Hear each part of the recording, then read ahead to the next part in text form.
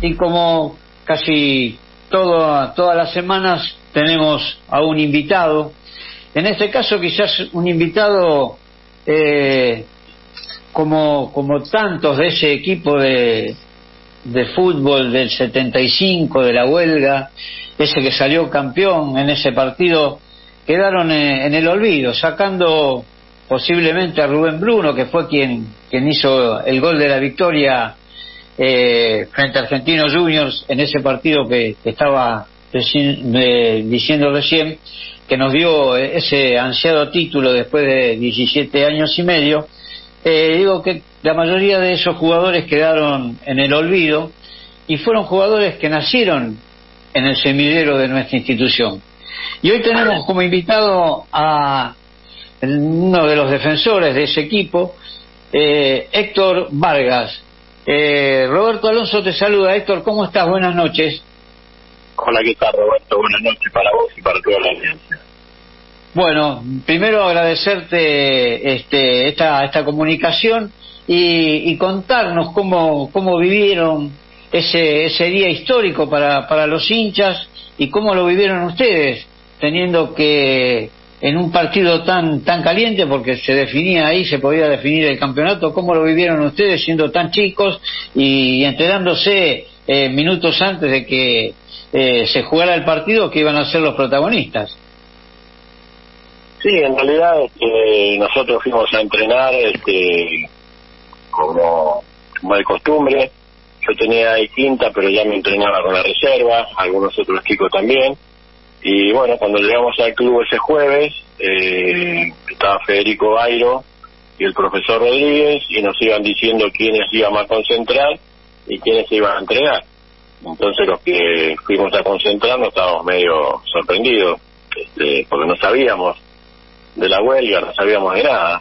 Y, y bueno, y ahí nos dijeron que, que de no levantarse la huelga íbamos a jugar nosotros, un partido importantísimo ya que como decís vos, River este, llevaba tres puntos de ventaja, quedaban dos partidos, o sea que si ganábamos salíamos campeones después de 17 años y, y tantos meses, este y la verdad que el día pasó bastante bien, porque eso fue a la mañana, el día pasó bastante bien, este y como que todavía no nos dábamos cuenta lo que íbamos a hacer, ¿viste?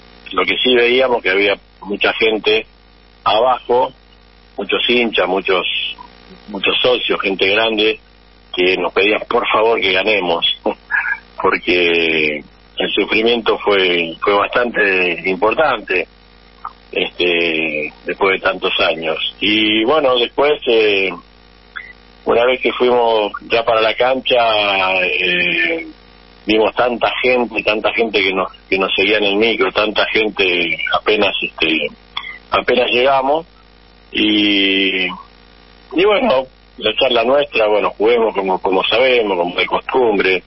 Nosotros siempre, siempre tuvimos, este, en casi todas las categorías, eh, chicos de jerarquía y, nos iba bastante bien. Lo que pasa que, bueno, este era un partido diferente, por más que el rival también este, tenía los mismos, este, las mismas edades más o menos nuestras, eh, ellos no tenían nada que, nada que perder. Y nosotros, eh, cuando estábamos en el vestuario, eh, nos habló Federico Bairo, Ángel Labruna también vino, a, vino a, hablar con nosotros y a decirnos, bueno, que, que juguemos tranquilos, que, que va a haber mucha gente mirándonos y que, que demostremos las cualidades de por qué estábamos en River. Entonces, Héctor, este, yo supongo que, que que como es todo todo bien, eh, fuimos como sabemos y demás, pero yo creo que para, para ustedes, eh, chicos, eh, más allá de que estaban haciendo los inferiores en River, sabían lo que era River, eh, la procesión iba por dentro.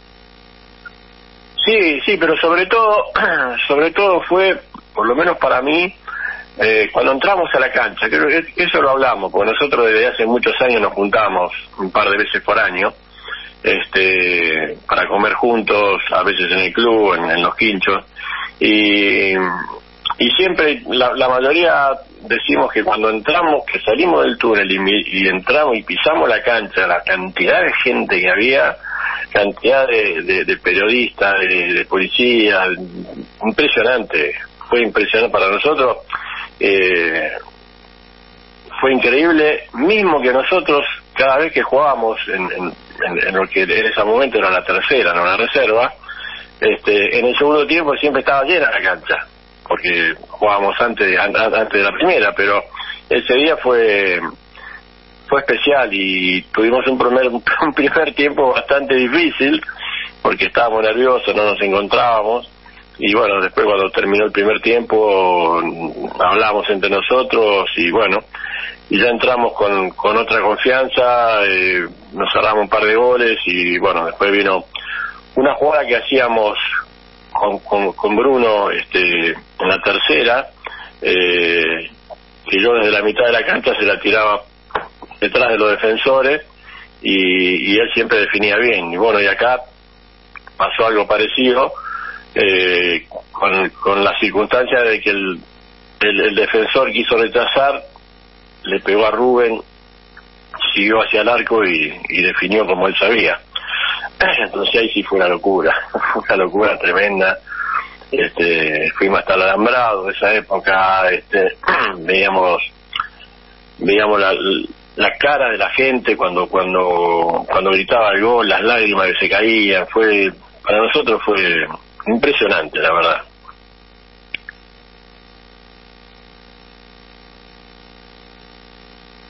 Héctor, y eh, fue impresionante todo todo todo eso que, vivieron.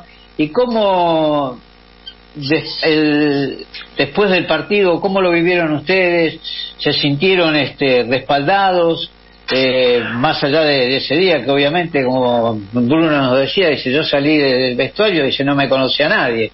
¿no? Claro, obvio, sí, sí. Sí, sí, eso, es, eso, es, eso hablamos siempre, que cuando, cuando, cuando volvíamos para nuestras casas, eh, bueno, la gente, gente de River que estaba contenta y, ni sabía y ni sabía que nosotros éramos uno de los que estábamos de los que habíamos jugado este siempre nos, nos reímos de, eso no este no yo creo que que hubo este de parte de, los titulares eh, obviamente que ellos hicieron todo todo el, el, el torneo este impecable este la verdad que hubo jugadores extraordinarios como, como Alberto Alonso, JJ, bueno, el Pato Filiol, todos, todos, todos los que estaban ahí, este, y, y uno, uno los puede entender, bueno, que, que este, la decepción, pero después es como que algunos, este, dijeron que no tendríamos que haber jugado y, y si uno se pone a recordar, este, unos cuantos de, los muchachos que estaban ahí debutaron en, una huelga con Didi, no sé si ustedes se acuerdan, en el año 71. 71. No pasó nada porque no se jugaba nada, pero debutaron ahí. Entonces, viste que... Porque antes del partido vinieron a decirnos que no juguemos. Y nosotros votamos y por una enorme mayoría decidimos jugar. Este Después, el, esto fue el jueves. El domingo fue el último partido contra Racing, que, que ya éramos campeones, y nosotros estábamos en el vestuario como para entrar con, con la primera para festejar, y nos mandaron, a la, no sé qué pasó, y antes de entrar nos mandaron a la tribuna. Este, un gesto que la verdad que no, no nos gustó para nada porque nosotros lo único que hicimos fue cumplir con perdón cumplir con el club nosotros éramos jugadores del club. River nos dijo que teníamos que jugar fuimos y jugamos. No éramos profesionales. La huelga era para profesionales. Nosotros éramos todos amateurs. Entonces este creo que ahí se equivocaron feo con nosotros porque nosotros ya éramos jugadores del club hace yo yo yo empecé en River a los 10 años y ahí tenía 18 imagínate desde hace 8 años que estaba que estaban en el club, como la mayoría. Y River nos dijo que teníamos que jugar, la huelga era de profesionales, nosotros éramos amateurs. Y la verdad que entiendo la decepción de que no de que ellos no, no pudieron jugar ese partido tan importante, pero de ahí a, a después a, con todas las cosas que fueron pasando, la verdad que no me gustó, no me gustó. Héctor, Daniel Galazo te saluda, buenas noches, ¿cómo te va? Hola, ¿qué tal? Buenas noches, ¿qué tal? Gustazo. Te quería preguntar, en esas horas previas, desde que ustedes tomaron la, la eh, le dieron noticia que iban a jugar ese partido con Argentino Junior, ¿hubo alguien se acercó del, del plantel profesional a hablar con ustedes? Sí, ¿Hubo algún sí. contacto con Sí, los jugadores del plantel? Sí, sí, sí, sí, sí, sí, sí, lo que dije recién. Este, vinieron jugadores eh, a decirnos que no juguemos, este, y bueno, después la decisión fue nuestra. Eh, vinieron algunos jugadores, como dije también hace un ratito, que habían habían debutado en otra huelga. Entonces, viste, eh, venía a decir Una, que no juguemos. una huelga, una huelga vale recordar esto que, que les trajo problema. Yo no me olvido de aquel gol de Pastoriza que tanto lo gritó en la cancha Claro. de River, que a los pibes que jugaron se los sacó en cara que habían jugado, ¿no? Si no me equivoco. Claro. Algo así pasó. Yo, bueno, eh, que estaba en el club, pero bueno, eh, en el 71 yo tenía que 14 años. Este, pero eh, yo a lo que voy es que, como dije recién, entiendo la decepción, pero no. Después hubo varias cositas que pasaron, este, con, con, con la gran mayoría eh, de nosotros.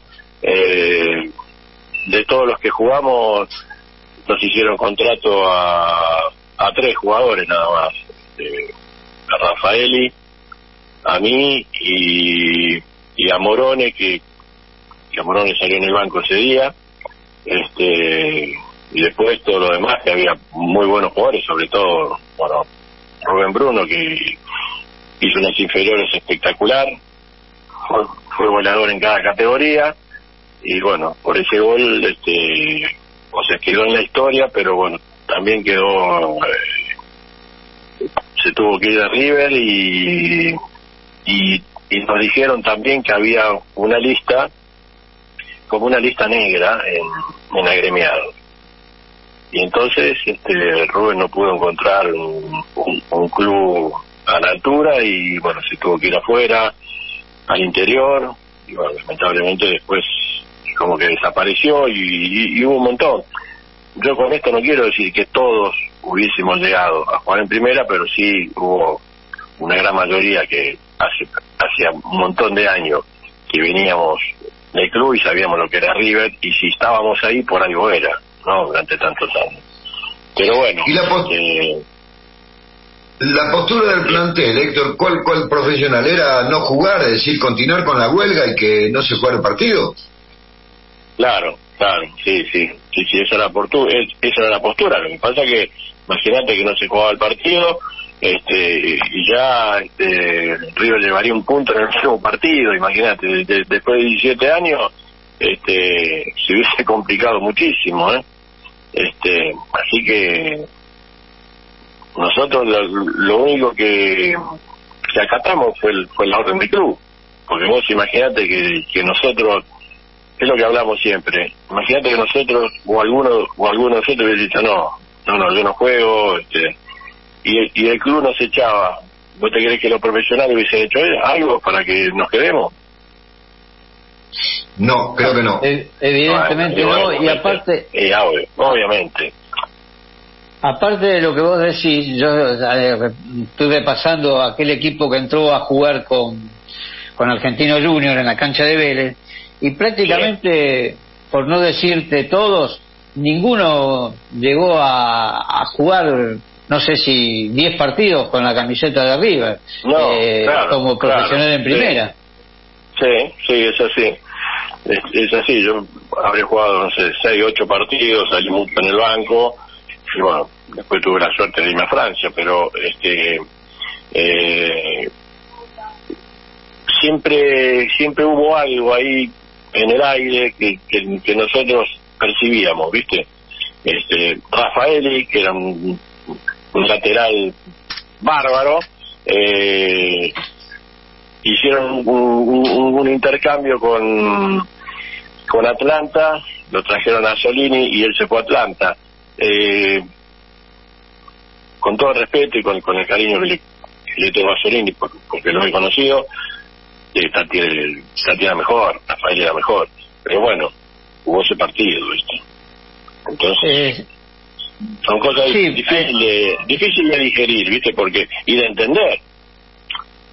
sí, Porque la verdad sí. que es increíble, es increíble que por haber jugado un partido donde le, le hemos dado este, una gran alegría a toda la gente de River Platense, no haya pasado lo que pasó, ¿no?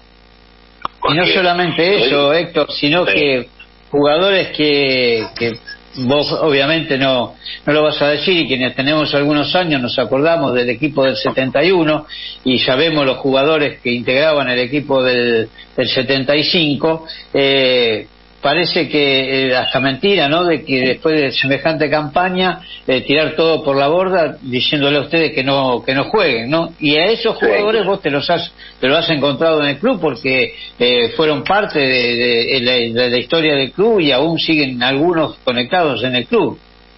Sí, sí, yo, ¿Cómo- cómo yo tengo una gran, yo tengo un- yo tengo una gran relación este con el negro JJ López, con el Pato Filiol, este con, con Mostaza Merlo, bueno, con la mayoría, con la mayoría de, los- muchachos de esa época, este sigo teniendo un, a mí nunca, o sea, nunca tocamos el tema.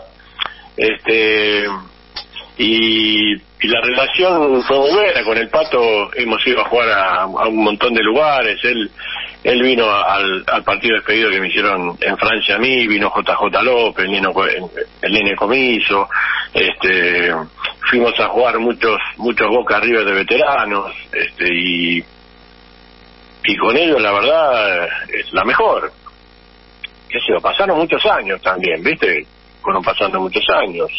Pero el tema la verdad que nunca lo tocamos. Nunca lo tocamos. Héctor, y Héctor Sí. ¿compartiste, ¿compartiste inferiores vos con Daniel Crespo? y Daniel Crespo es más grande que yo. Pero sí Claro. sí sí obviamente aparte lo conozco lo conozco a Daniel bueno, Sabela también yo llegué a jugar con Sabela en, el- en la reserva. Este después cuando hubo una gira eh, que River lo vendió a Sabela al, Sheffield eh, nosotros estuvimos ahí tenemos una foto con con Omar Labruna y con él este en Inglaterra en el 78 fue. Este sí Alejandro fenómeno fenómeno como, como de, de- de joven y bueno después lo demostró la selección y bueno lamentablemente eh, se fue se fue muy rápido de este mundo.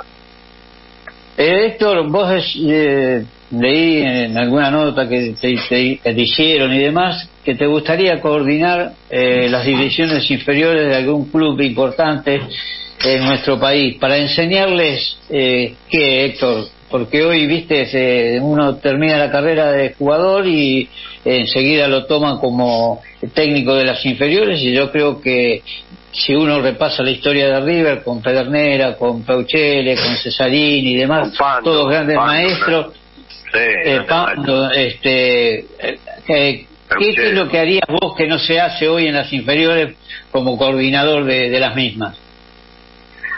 Mira, este, yo lo que lo que estoy viendo, bueno, sobre todo en, en- estas épocas, ¿viste? Este, en la época de que yo estuve en River y que estaba, bueno, primero el papá de Ansarda, cuando estábamos en infantil, después eh, con Pando, con Federico Bairo, eh, Peuchele, qué sé yo, varios varios nombres que nos enseñaron un montón y y nos enseñaron a jugar, no no a ganar. Yo creo que ahora a los chicos les quieren enseñar a ganar antes de enseñar a jugar. Y ese es y ese es eh, es una gran equivocación, porque después los chicos llegan a primera, bastantes muchachos que están en primera llegan con defectos que, que no se los sacaron en inferiores por no trabajarlos, por querer solamente ganar. Y la verdad que ganar en inferiores este es- es- está bueno, pero lo más importante es formar a cada uno de los chicos y mejorarlos en, en, en cada defecto que van teniendo. Este, y después, bueno, si se sale campeón, bárbaro. en River vos sabés, como, como, como en los grandes clubes, que la mayoría de los, de los mejores chicos se van a probar ahí o lo, o lo llevan ahí. Este, así que eh, siempre tenés categorías que salgan campeones, pero eso a mí la verdad que no, no me interesa. A mí lo que me, a mí lo que me interesa es que cada chico vaya aprenden, aprendiendo de cada formador, como, como fue lo que nos pasó a nosotros. Te paraban la práctica, no, toca acá, no, fíjate, te hacían pensar, te hacían pensar adentro de la cancha, te decían, ve, fíjate, si en vez de dártela a él, se la das al otro, el juego, el juego va más rápido. Y, viste, te paraban el juego y a uno por ahí, por ahí como era chico y, y quería jugar, viste, decía, hubo otra vez me para el juego, y después cuando vas creciendo te das cuenta que te paraban el juego para corregirte. Y hoy yo no veo eso, viste, en inferiores veo que, que del banco y gritan y gritan y gritan y gritan, y en vez de dejar a los chicos que, que jueguen como ellos, como ellos saben jugar, porque para eso están los entrenamientos. Los entrenamientos está, están para para corregirlo. Después adentro de la cancha, bueno, puede estar todo el tiempo gritándole y que el chico en, en vez de preocuparse para ver lo que va a hacer y se la da o se la da al otro, esté escuchando que el técnico, le, que el formador le diga, dásela a este, dásela al otro. No, déjalo decidir, déjalo decidir y después tenés toda la semana para ir corrigiéndolo. Este, sé, hay un montón de cositas que discutir con el árbitro, discutir con, con, el, con, el otro con el otro formador del otro equipo, son todas pequeñas cosas que que al chico no lo tenés que formar solamente futbolísticamente, sino en, en la corrección, en, ser correcto dentro de la cancha, en no pelearse, en no discutir con el árbitro. Hay un montón de cositas. Eh, lo que pasa es que el fútbol hoy es mucho más negocio que en la época nuestra. Entonces, también hoy, hoy ves chicos, ves chicos de novena que ya están representados. ¿Entendés? Y, y eso es un gran problema para, para, para los formadores también, porque este, les, llenan la cabeza este, de otra manera, en vez de dejarlos tranquilos, que, que, que vayan aprendiendo, que, que jueguen al fútbol y que piensen en jugar al fútbol. Obviamente que tienen que pensar en la familia, en el colegio. River ahora tiene, tiene la posibilidad de, de de tener un instituto ahí que, todos los chicos pueden terminar por lo menos secundario, porque todos sabemos que, que no llegan muchos de, de, un grupo de inferiores de veinte y pico y no llegan muchos. Entonces, por lo menos que terminen los estudios para que después cada uno pueda elegir qué otra cosa hacer. Este, y, eso eso por ahí nosotros no lo teníamos, pero nosotros teníamos una educación en casa que, eso por lo menos lo que me tocó a mí, impecable, impecable en el sentido, y vivíamos jugando al fútbol, vivíamos jugando al fútbol todo el día. Y, y, y de esto vas aprendiendo, en la calle, en cualquier lado. Después ibas a River y, y era eh, una amistad con los chicos y cuando había que trabajar, trabajamos, cuando habíamos que, que, que reírse, nos reíamos, nos quedábamos hasta tarde, íbamos a que vamos a tomar algo ahí, ahí, ahí enfrente de River, que es otra cosa, es otra cosa. Este, lo que yo sí veo es que es que hay poca formación individual a los chicos.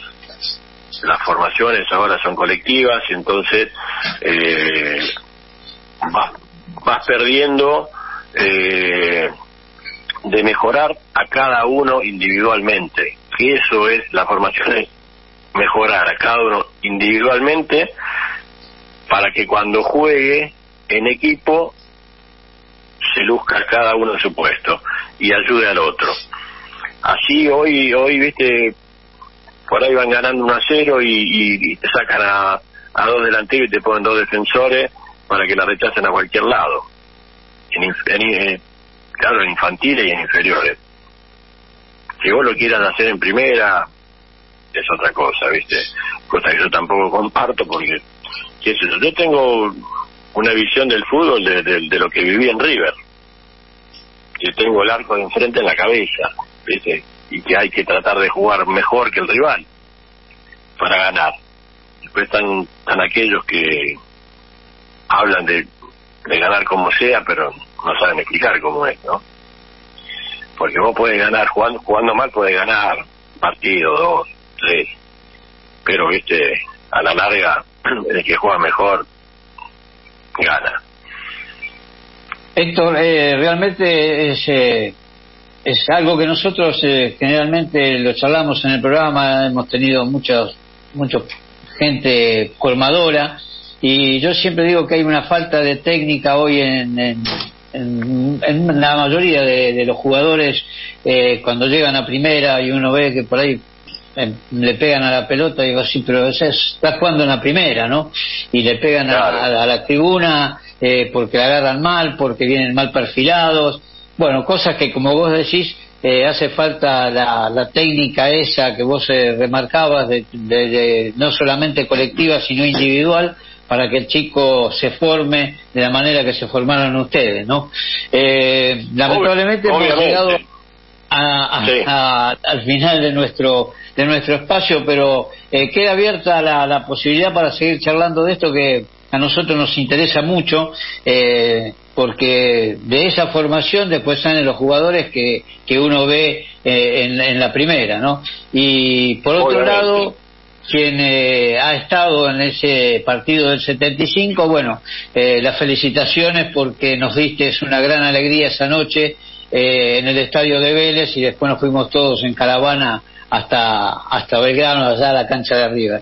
Así que muchísimo este esto, estos minutos que nos has brindado y, queda abierta la posibilidad de, de seguir charlando con alguien que, que no solamente hizo su carrera acá en River, sino también en el exterior como fue Francia y junto a tu hermano Hugo que jugó en la selección del 74. Dale, muchas gracias a ustedes también por acordarse y, y les mando un abrazo grande para todos los hinchas de River. Eh, yo soy de River, obviamente, y he pasado toda, toda, toda mi, toda mi infancia y, y mi adolescencia en ese club que, que para mí eh, es mi segunda casa.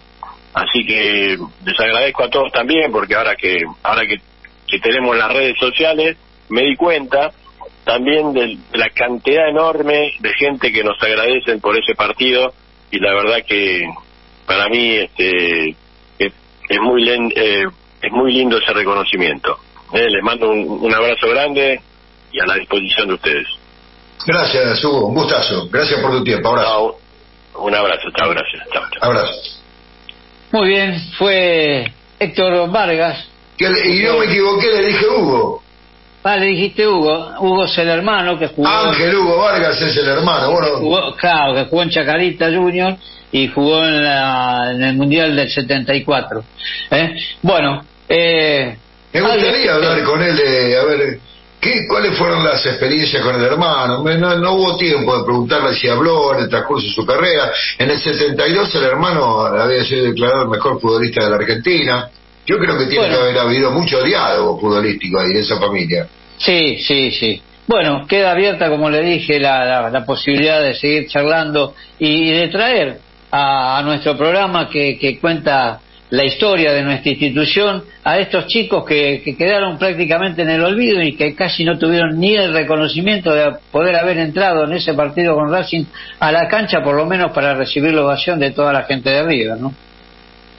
Sí, una cosa que siempre me lo pregunté. Se lo iba a preguntar yo, pero bueno, lo, se adelantó él y lo contestó. Obviamente, ¿cómo no se van a sentir molestos después de lo que habían logrado de que los manden en vez de poder entrar a la cancha como partícipe. Pero bueno, juegan los egos, un poco lo que hablamos. Los minutos que nos pasamos será hasta el próximo martes en el Ángel de River. Eh, nos vemos, chao. Antes que de irnos, eh, le voy a decir algo. Eh, ¿Vio que dice tache la generala? Sí, tache Bueno, ya taché, ya, ya taché dos, ¿eh? Quedaban ah, como. Ya, ya taché dos, dos. Está haciendo Copa Argentina y el domingo. Bueno, bueno. puede seguir tachando. Nos vamos. Nos vamos, chao, pásenla bien. Gracias, Diana, por todo. Sin vos no podíamos verte en el aire. Chao, pásenla bien. Chao, chao. Hay un ángel que vuela